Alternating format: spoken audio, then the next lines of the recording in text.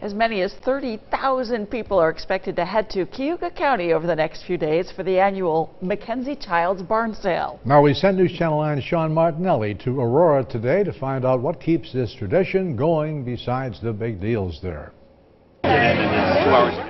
Great time. Great. The best. The best. These folks are looking for a real treasure. I love Mackenzie Child. The product is The just, product is wonderful. Yeah, it it is. It's all fun. Yeah, I think you really have to come to get the full idea of it. Makes you happy when you drink out of the glass.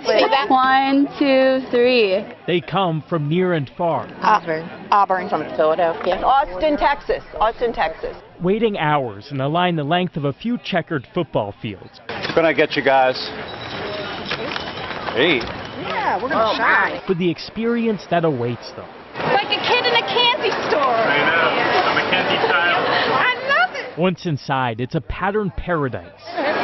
We love it every year. It's our fifth year. A shopper's dream that one quickly learns is meant to be shared. I started coming here so I could spend time with my daughter, and now I'm collecting stuff. But lots of folks say that stuff is really secondary to the memories made. yeah, it's it's so worth it. It's so exciting. It's so fun. And the bigger group you come with, the better it is. So I didn't come just because it was half off. I came because I wanted to experience the whole atmosphere and the people, and it's a lot of fun. And those are the treasures found here that don't cost a thing. In Aurora, Sean Martinelli, News Channel 9. Did he say half off? He did. Let's I'm go. What are we waiting for? sitting here. Okay.